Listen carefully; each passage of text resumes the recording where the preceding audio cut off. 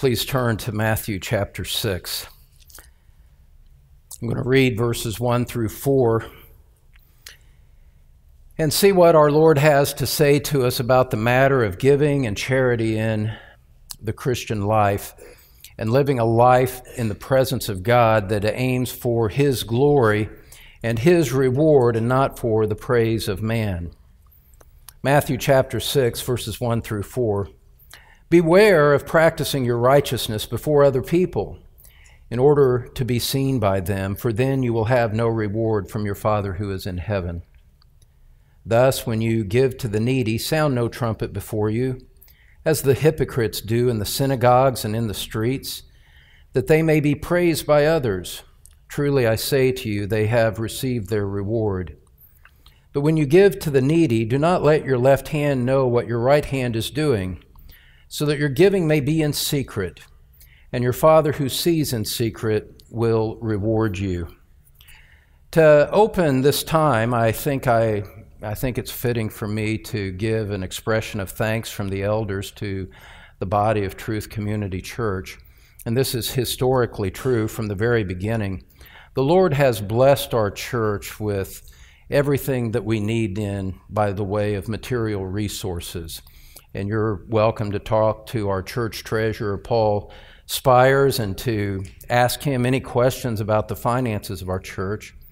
It's a, it's a blessing to minister in a, amongst people who are so generous, and I'm grateful to God for that. It certainly makes ministry easier to be able to not have to worry about such things there was, and I want to just, uh, to, you know, we have a lot of new people here, and I just want to share a little bit of church history, this time Truth Community Church history, with you to help you understand a little bit about what happens here and why we do what we, what we do.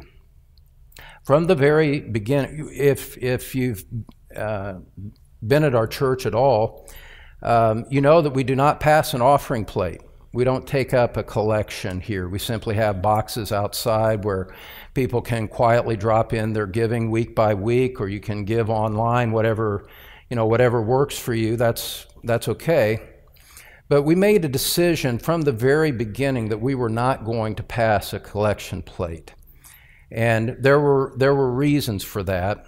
It was um, at, initially, initially, when I said that I wanted that to be our policy. There was some consternation, you might say, and I say it, you know, in all love and sympathy with those that expressed it, and out of respect for them, even.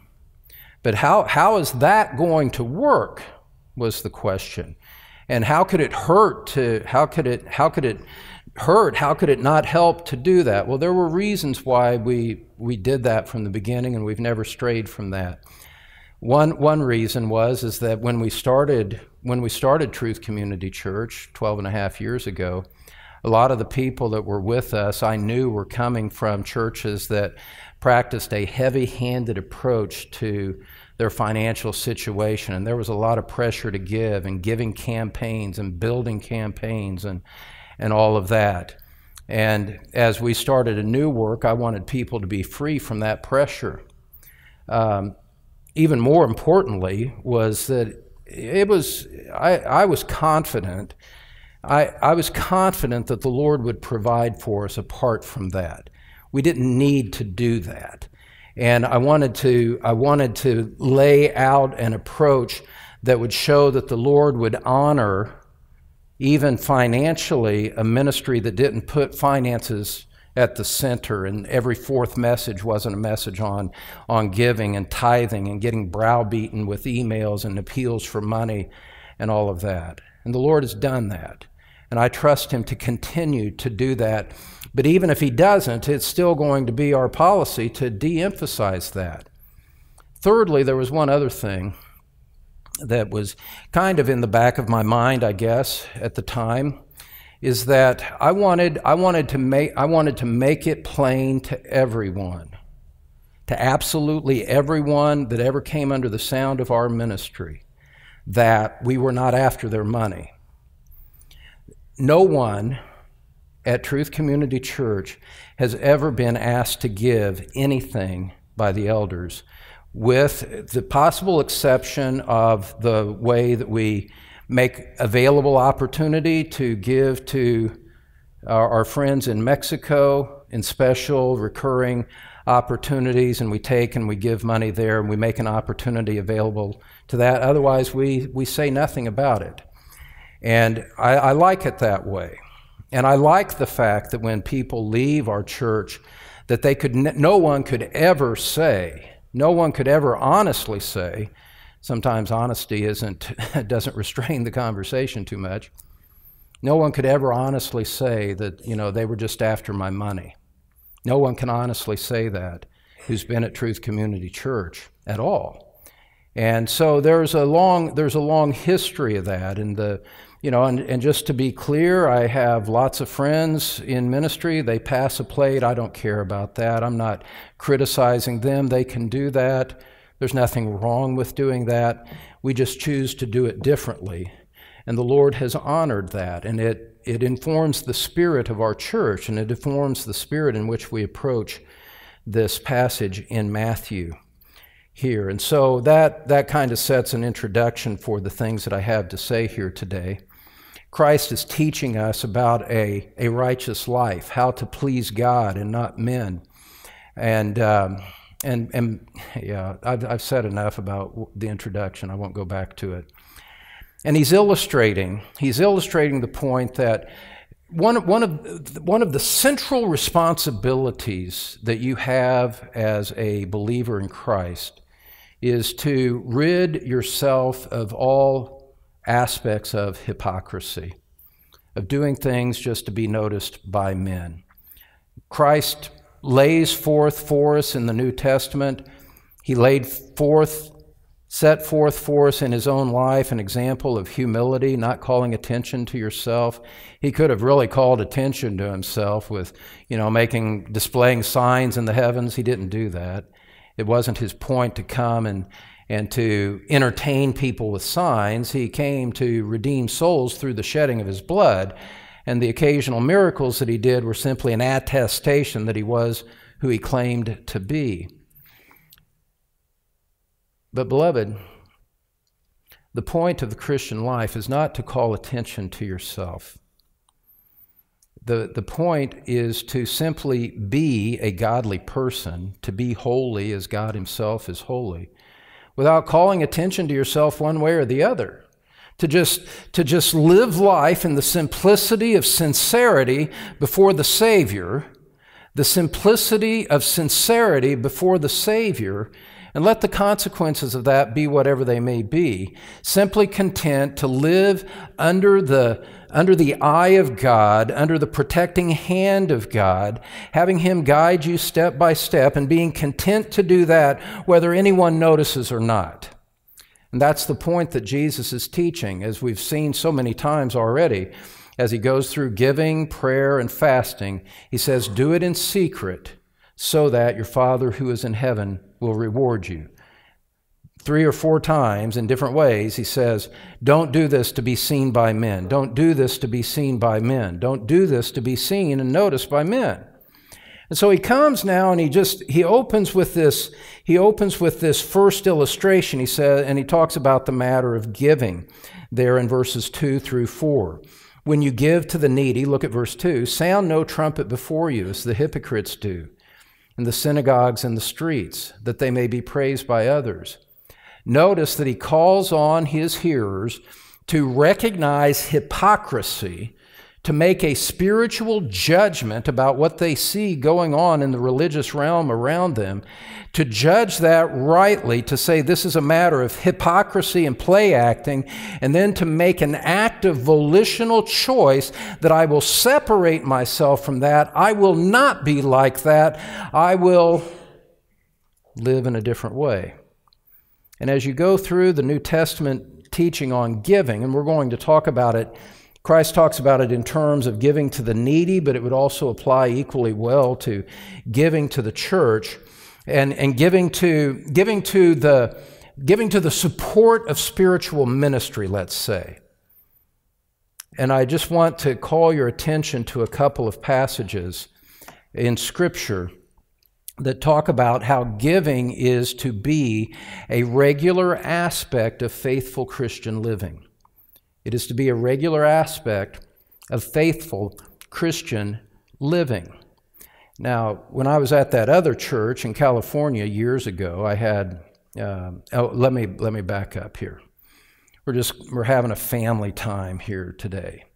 You can say I want to I want to say clearly and up front that I have no idea. I have never looked at giving records at Truth Community Church in 12 and a half years, and I have no plan ever to do that.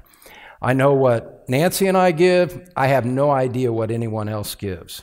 So it's impossible for me to be targeting anybody with the things that I'm saying in this message because it's not about that at all. It's not about any individual. These are about principles. We're speaking at a higher level than simply trying to get our hand in your wallet. We're not trying to get our hand in your wallet. If we were, we'd pass plates and make heavy appeals. We don't do that.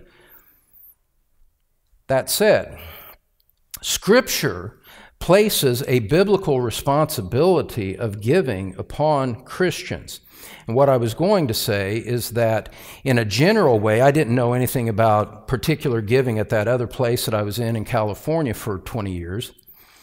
But as an elder, I was aware of the fact that, that there was a preponderance of people. It may have been even as high as 60% or more. I can't remember the exact figure. I should have verified that before I stepped up here today. But at that fine ecclesiastical institution, renowned throughout the world for the ministry of its pastor. The substantial majority or the substantial plurality of people did not give at all. Zero throughout, throughout the year. And it was a sign of inconsistency between what was taught from the pulpit and what body life is supposed to be like and what the reality was.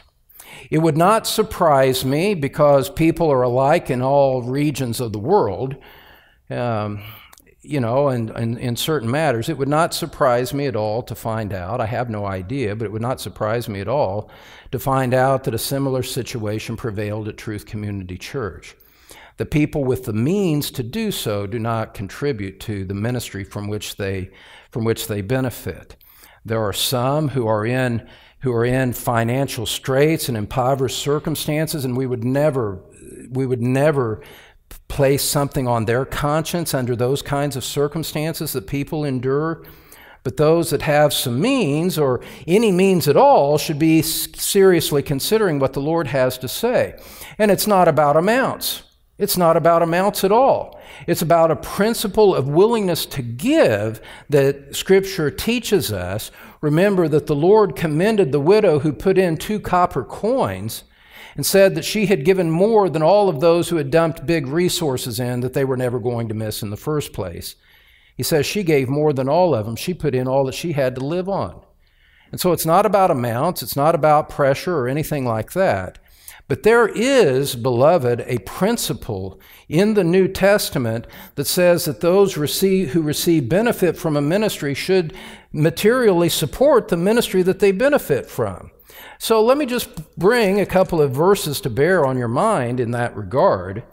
And if you, you know, if, you know, if you've kept your wallet in your pocket, understand that the Lord is coming to bring something to your attention because your wallet expresses your priorities and expresses where your heart is. Your checkbook does, your QuickBooks accounts, whatever you use. Bible calls us to give as Christians. It is an intrinsic part of ongoing worship that Christians give. The Apostle Paul said in 1 Corinthians 16, verse 2, on the first day of every week, each of you is to put something aside and store it up as he may prosper, so that no collecting may happen when I come. Every week, the church was supposed to be putting aside, and each, each one in the church was supposed to be setting something aside as a part of their act of responsibility, their act of worship before God, the life of worship that they, that they led. Paul goes on in Romans chapter 15, verse 27, and he makes this point, and listen to me really carefully, beloved. You know, we're just not at liberty to ignore what Scripture says about things that we find unpleasant or things that, Im- that impact us. That's not the way Christianity works. We don't get to pick and choose things. I like this, I like this, and I'm going to ignore everything else, and I'm going to pretend to be a Christian under, under those pretenses. No, when you become a Christian, you come under the authority of Jesus Christ. When you come, become a Christian, you come under the authority of the revealed Word of God, the 66 books of the Bible. You come under the authority of what Scripture teaches.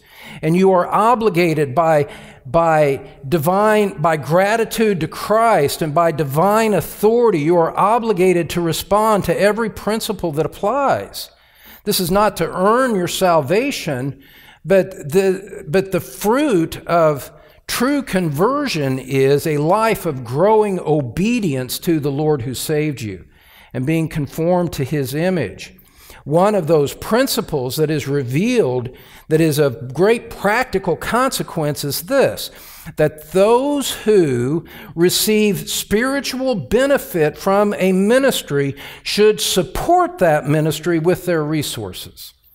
Shouldn't be take, take, take without some response of giving in return. Romans 15, verse 27, Paul says, if the Gentiles have come to share in their spiritual blessings, they ought also to be of service to them in material blessings.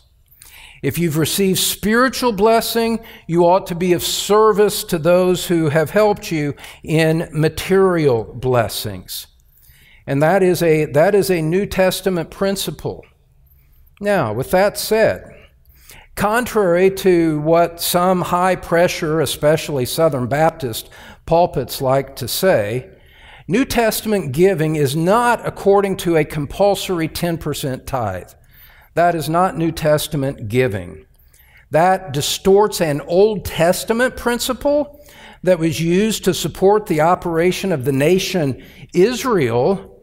It confuses that Old Testament principle with what the New Testament says with today's church. And everything that you would rightly think about giving flows from a, from a starting point of what you think and how you esteem the Lord Jesus Christ Himself. Let me say that again. Everything that you think about giving flows from your estimation, your opinion, the value you place upon Jesus Christ Himself. Because what did Christ do? At a most fundamental level, He gave Himself for us. He didn't, he didn't just give outward material blessings, He gave Himself for the people of God. He spilled his blood for the people of God. He gave of himself wholly and completely to secure our redemption to take our sins upon his body on the cross, to carry them into the grave and come out alive in the resurrection, having buried our sins in his death, suffering the wrath of God on our behalf, and by his grace and glory and, and infinite generosity, spilling himself, as it were, all over our sins in order that we might be reconciled to a holy God. What you think about that determines the way that you think about how you give of yourself and your resources. Beloved, we give to the ministries, and, and let, let me just restrict it to the local church here, because parachurch stuff is a different matter altogether. And I don't, I don't want you to confuse what I'm saying about local church and biblical giving with parachurch stuff, one way or the other. The way that we think about giving within the local church is determined by what we think about Christ. If Christ gave himself for us, and he's appointed his local church to be the instrument through which his gospel is spread and people become disciples and grow in, in the grace and knowledge of him, then there's a natural response of a believing, obedient heart that says, I want to support that from which I benefit, that which Christ appointed, that which is in keeping with New Testament principles. And then, with, with joy and with generosity, we give in material ways. You, you, you, think, you think like this. You think like this. I have received infinitely more from Christ than I could ever give in response. But he was so generous on my behalf that I want to respond with like generosity to the things that he has appointed in his word. I want to do that. I find joy in doing that according to the means that, that, that I have. And so then, with joy and with generosity, we give in material ways. Turn to 2 Corinthians 8. 2 Corinthians 8.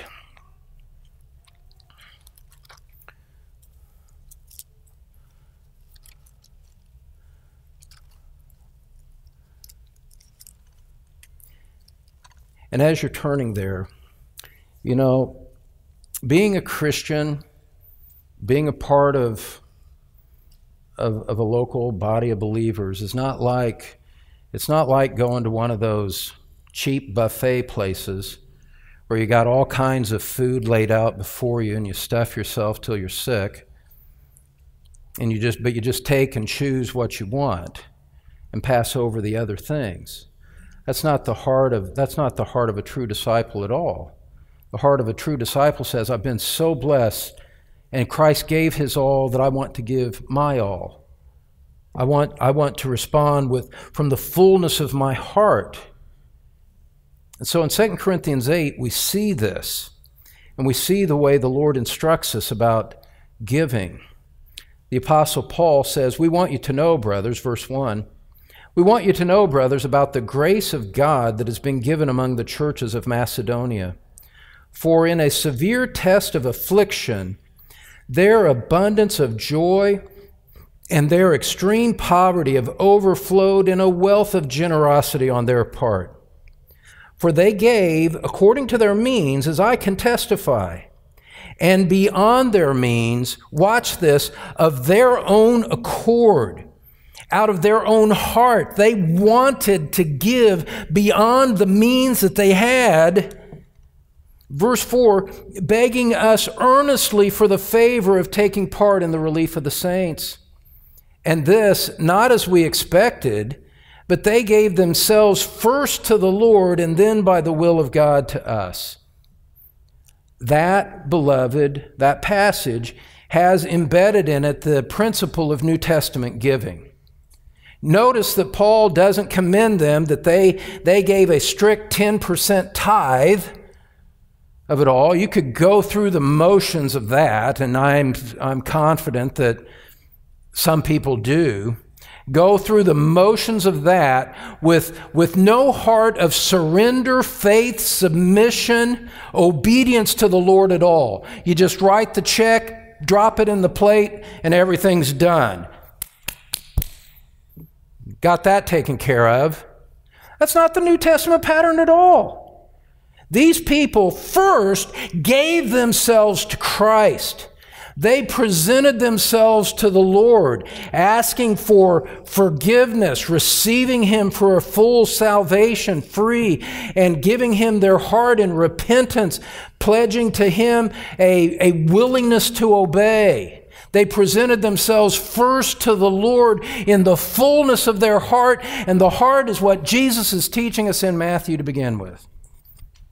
Perfect consistency with the Lord, with the Word of God, I should say. And then, and only then, only after they had done that, once that was established in their hearts and lives, then it was a free and obvious thing for them to give generously as the needs of the people of God required. That's the pattern. You give yourself to the Lord, and then you respond, and it flows. It's not an external matter, it's not a grudging thing. Got to write that 10% check here today. And you know, and then and then try to fend off the pastor as he beats browbeats me from the pulpit yet again, wanting me to give even more. No wonder people hate churches like that or, or take a very superficial approach to involvement with it and pretend and make themselves hypocrites. But that's not the New, New Testament pattern at all. From the heart, these impoverished believers wanted to give, and they did. And Paul commends them for it. Look over at verse chapter 9, verse 6.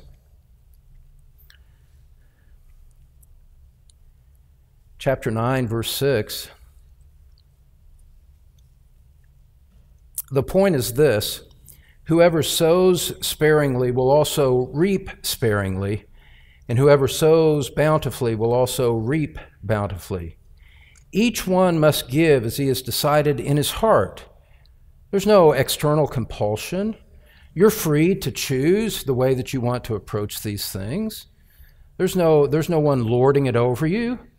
And I've heard of, I've heard of places, which is just incomprehensible to me, people that actually, you know, church leaders that actually demand to see checkbooks and, and to, to give strict account and to get involved in the, in the most intimate financial details of people's lives in order to verify the giving that they're doing. All of that under compulsion. That's not the spirit of it all. Not under compulsion. But with a prior work of the Lord going on in the heart, there's a glad willingness to do these things. And so each one develops an approach according to his means. And so, beloved, the overall principle that informs New Testament giving is this we give thanks to God for our Lord Jesus Christ, who loved us and gave himself up for us. We present ourselves to Him in the fullness of our being, heart, soul, and mind. We present ourselves to Him for worship and obedience sake. And we're filled with gratitude and, and, and worship and as we recognize more and more what Christ did to reconcile ourselves to a holy God. And from that spiritual position, then we support the biblical work of the church. We support spiritual ministry. Beloved, hear me on this. It is an act of willing worship, of willing, obedient worship, not a matter of obligation or restraint or compulsion against your will. If you're unwilling and unwilling to give and you're hard hearted in that, you know, I, I'm not trying to pry a $5 bill out of your wallet in what I'm saying here. If that's your, the spirit of your heart, I'd call you to go back and consider whether you're even a Christian or not. Because a Christian doesn't have that selfish, keeping, clenching way about, his, about the things that he has that the Lord has given to him. Having received such generosity, his heart is carried away in the tide of, of the greatness of the love and kindness of Christ and can do nothing else but to seek to live in that same spirit himself. All of that perspective informs what we see in Matthew chapter 6. And in the time remaining, we're going to see how Christ contrasts the wrong and the right way to give. There's a contrast in what Jesus teaches us here in Matthew chapter 6. So turn back there with me.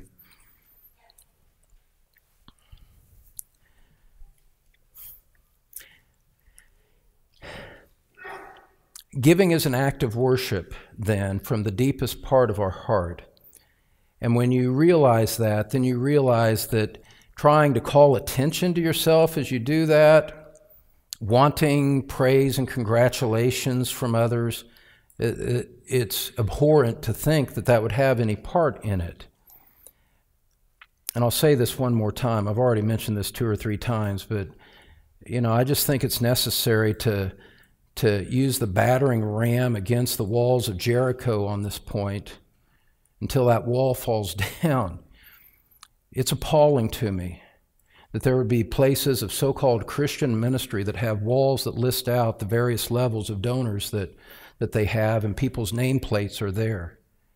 On both sides, both sides of that equation should be demanding for that wall to come down. They should stand like Reagan did at the Berlin Wall and said, Mr. Gorbachev, tear down this wall.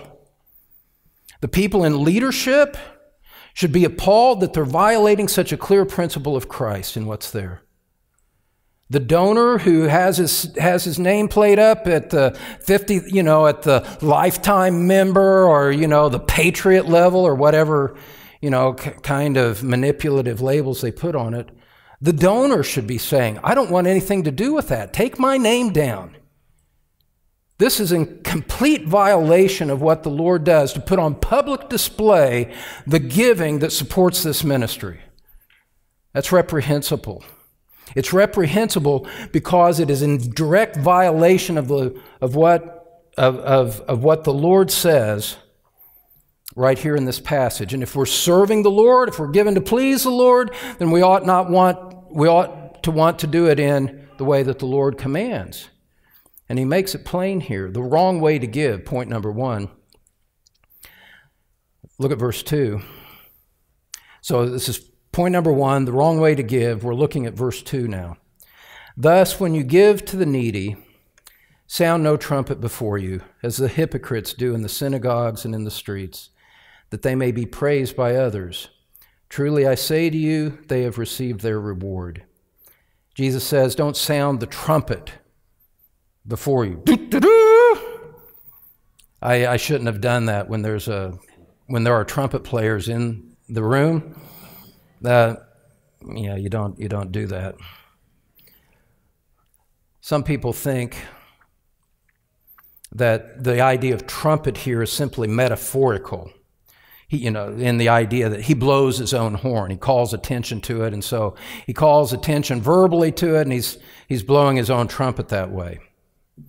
Others think that the trumpet refers to the, to the sense of there would be a blowing of trumpets to call worshipers to the temple, and people would give at that time.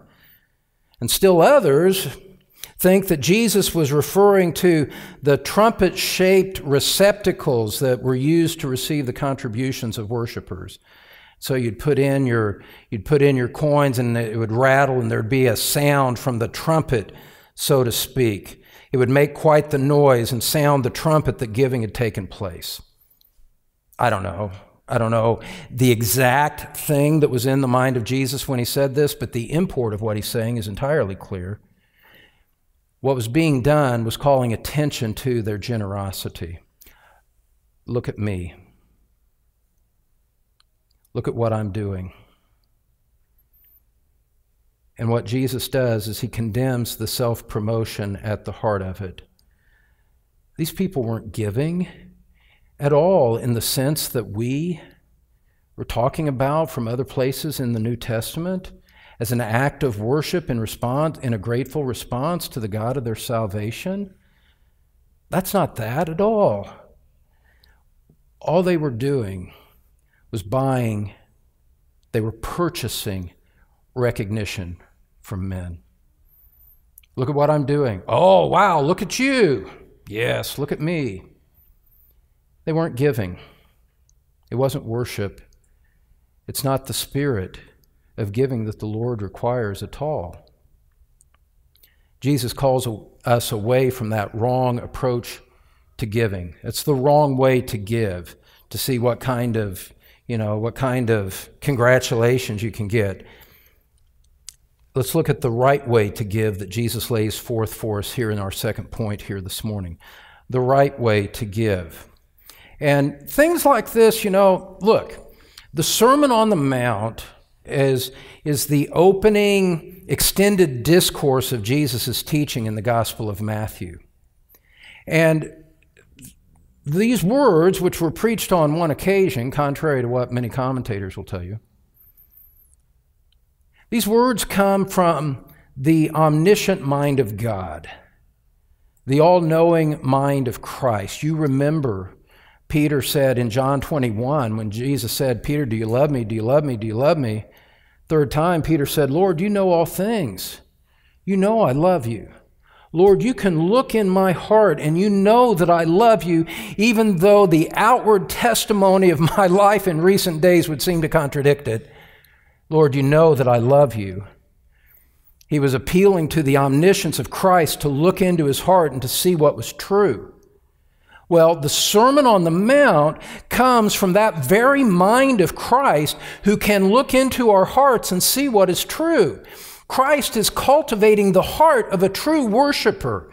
He is calling forth the fruit of true repentance in the hearts of those who would, who would follow him and belong to him.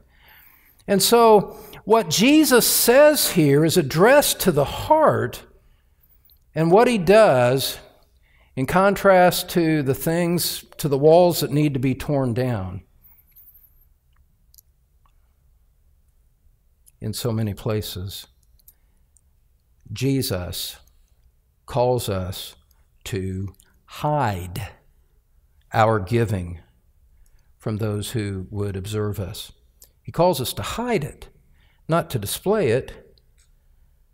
Look at verse 3. Uh, and, and just to emphasize the point in verse 2, he says, When you give in that wrong way, he says there at the end of verse 2, he says, they've received their reward. They're not going to have any reward from God because all they wanted was the praise of men. Pray, you wanted the praise of men, you got the praise of men, transaction's over. There's nothing left to receive from God. The true believer would be horrified mortified at such a thought, saying, No, no, no, no, I want reward from God, not from men. My heart is for Him, not for those around me. And so, Jesus, teach me what it is that I should do with my giving so that I have reward from God, that I respond rightly to your gift of salvation And that uh, at the, uh, at the bottom of all of it, that I would simply please the one who gave his life in love for my soul. Lord, teach me what that looks like and help me to do it. That's exactly what Jesus does. He's, he's instructing our hearts here against hypocrisy and showing us how to live in a life that gives no room, how to put hypocrisy to death in our heart. So he says there in verse 3 he says, But when you give to the needy, do not let your left hand know what your right hand is doing. Do not let your left hand know what your right hand is doing. That's, and in a sense, in a sense, that's kind of impossible, right? I mean, our hands are right beside each other. Obviously, one hand, metaphorically seeing, sees what the other hand is doing. But Jesus says, says that's exactly what you want to focus on and to make sure isn't happening, his point is this give in a way that you're not dwelling on it. Don't keep mental records of your good deeds and say, "Oh, I did a good deed. Look, I and and congratulate yourself in your heart for how generous you were to the person that you gave to or to the church that you gave to." And it comes back to Christ and the cross once again, beloved. To, to cultivate a sense of pride about the giving that you do is totally inconsistent with a right estimation of Christ and the cross.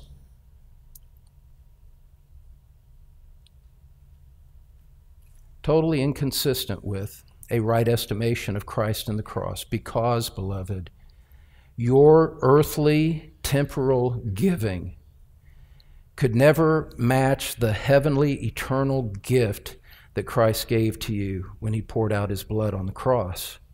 There's no comparison. Don't, don't boast of little things in the presence of the great thing by the great one who purchased a great salvation for your eternal soul. There's no place for boasting at the foot of the cross on anything. And so, what Jesus is saying here is don't dwell on it. Give and move on. Do it and move on to the next thing. Don't congratulate yourself. That's the idea of keeping your left hand from knowing what the right hand was doing. That's the negative side of it. He then sets forth the true motive that, that God will bless in verse 4. Look at it here in verse 4. Don't let your left hand know what your right hand is doing. Don't dwell on it. Verse 4 so that your giving may be in secret, and your Father who sees in secret will reward you. You see, when, when you give in secret, when you act quietly without calling attention to it, you give no occasion for men to congratulate you and praise you for it. That means that they can't feed your pride because men can't honor or, or praise what they don't see. And so I'm very grateful for whoever, whoever, whoever does it. Only once in a great while do I, you know, do I see people going up and just quietly dropping something into the box outside the, outside the door there. But it's always it's it's deliberately done. We d- deliberately position things like that so it can be done in an unpretentious way.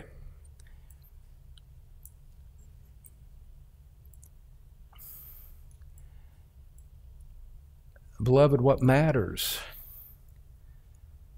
What matters? Who matters is Christ. The gift that matters is His to us. Anything that would call attention to ourselves in light of what He has done is repugnant to the regenerate mind. To put that in more simple English, we don't want to call attention to ourselves at the expense of the glory of Christ. We love Him too much, we want Him too much, we honor Him too much to want to put ourselves on display in the midst of it. And so give in a way, Jesus says, that doesn't allow for that. Now, let me address a couple of questions that come up. In times past, I've been careful to point out that what Scripture teaches about giving does not obligate us to give to every beggar on the street. Scripture says if a man doesn't work, neither let him eat. And so we shouldn't just automatically give to everybody who asks without any context, without knowing or anything like that. That's not it. Furthermore, and I could see where overly scrupulous people might try to overinterpret and overapply this passage. This teaching does not forbid tracking your giving for tax purposes, and it's very easy to show that that would not be the case. What Jesus is saying is don't do your giving so that men will praise and congratulate you and you can feed your pride that way. Well, let me make a promise to you that I think I can keep. The Internal Revenue Service of the United States government is not going to come back and tell you that you are really swell for all of the giving that you did in a charitable way in the most recent tax year. They're not going to do that. They couldn't care less. They're going to crunch the numbers and then move on. And they might audit you in the process for other things, but they're not going to, they're not going to, they're not going to praise you for your charitable giving. That's not the point. And so to track your giving for tax purposes has nothing to do with what Jesus is talking about here because he is addressing the inner sin of hypocrisy and wanting the praise of men. And the Internal Revenue Service isn't going to praise you for anything. There's an organization that says give, give, give, right? Not at Truth Community Church. What's the result of that kind of giving? What's the outcome of it that Christ lays before us? Verse 4, he says, Let your giving be in secret, and combined with this is this promise from God. And your Father, who sees in secret, will reward you. God, in, in other words, the, the principle, let me just step back for a moment. Without using the word, the principle of God's omniscience is woven throughout these first 18 verses of Matthew chapter 6. Your Father who sees in secret will reward you. He'll reward you. He sees in secret, He'll reward you. The, the theological doctrine, the attribute of God that is invoked here is the perfect omniscience of God. He knows everything that happens in the realm of His creation. He knows the inner secrets of the heart. He observes the outward actions of men. He who made the eye sees. He who made the ear hears. He who made the tongue speaks. And on it goes. God knows. And so, as we intentionally practice this grateful, secret giving, we can do so with the assurance and the confidence that God sees and that God will honor that as He sees fit in His time. And in that, we find our contentment. We find our contentment in the revealed pleasure of God rather than the passing fickle praise of men. When it's laid out like that, it's easy to make the proper choice. Now, Jesus uses the future tense, your Father will reward you. He doesn't place a time frame on this. He doesn't discuss when the reward will be given. Certainly, there'll be reward in your life now, here on earth, as you grow spiritually, as you live in obedience to the teaching of the Word of God. Sometimes, not always, sometimes God supernaturally blesses those who have generous hearts. And God, in observation, this is not, I'm not making a biblical statement here, but just in observation of a number of men over a number of decades, God has a way of, of blessing materially those who know how to be generous with it. It's pretty remarkable to see that in operation. And the more they give, the more God blesses. Doesn't happen for everyone, not a promise of the word. But, some, but they get some of their reward here in this life that way. But for all of us, the more important reward is the lasting reward, the eternal reward, because, you know, we can't take anything to the grave with us. Look over at Matthew chapter 10, verse 42. Jesus hints at a future reward that the giving to the needy that the New Testament generosity will bring forth in that final day when we stand before Him and give an account of our lives and He rewards us according to the pattern of our life. And Jesus says in verse 42, again, you see the underlying principle of the omniscience of God underlying this, that God forgets, that He sees all and He forgets nothing. Verse 42, Jesus says, Whoever gives one of these little ones even a cup of cold water, the liquid equivalent of two copper coins in the temple treasury. Whoever gives one of these little ones even a cup of cold water because he is a disciple, truly I say to you, he will by no means lose his reward. Beloved, God knows all and He sees all. And He's faithful. And He honors us and He blesses us when we obey Him. He honors even the smallest service done in the name of Christ, saying, He who is faithful in a little will be faithful in much. So let me encourage you to forget about men and rules.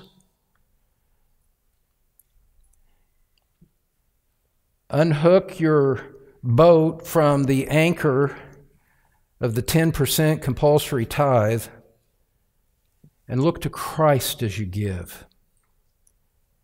Let His love inform your approach.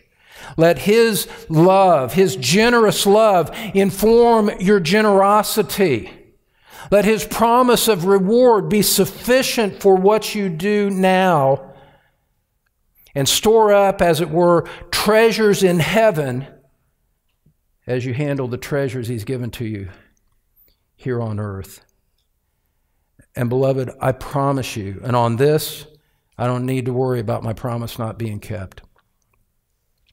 I promise you that the smallest reward from God in heaven will infinitely exceed any kind of praise or little cheap plaque on a wall among men could do for you. Give in secret, and your Father who's in secret will reward you. Let's pray together.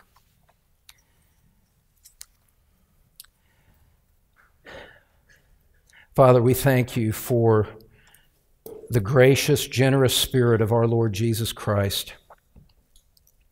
How he loved us and gave himself up for us. Not in limited measure, but he gave himself without measure as he came to earth and laid down his life. And then, Lord, when you saved us, you gave us the Holy Spirit without measure. You gave to every believer the fullness of the Holy Spirit dwelling within us. And you promise an, an endless, infinite duration and beyond time, even reward in heaven as we are with you and see you and praise you throughout all of eternity, singing the song of the Lamb, redeemed by the blood of the Lamb. Oh, dear God, how good, how gracious how generous you have been to us. We pause and step back from the world and step back from the cares and concerns of our lives. And we recognize that, dear Lord, and we thank you for it. We recognize your supreme generosity and ask you to work in our hearts by your Holy Spirit through your word to turn us into the right kind of generous people, not grudgingly, not under compulsion, not by rules, but with a heart transformed by grace, gladly being generous after having received such generous grace from your righteous right hand. We love you. We praise you. We seek to serve you. And we present ourselves to you here as we close our service. In Jesus' name, amen. Thanks for listening to Pastor Don Green from Truth Community Church in Cincinnati, Ohio. You can find more church information, Don's complete sermon library, and other helpful materials at thetruthpulpit.com, teaching God's people God's Word. This message is copyrighted by Don Green, all rights reserved.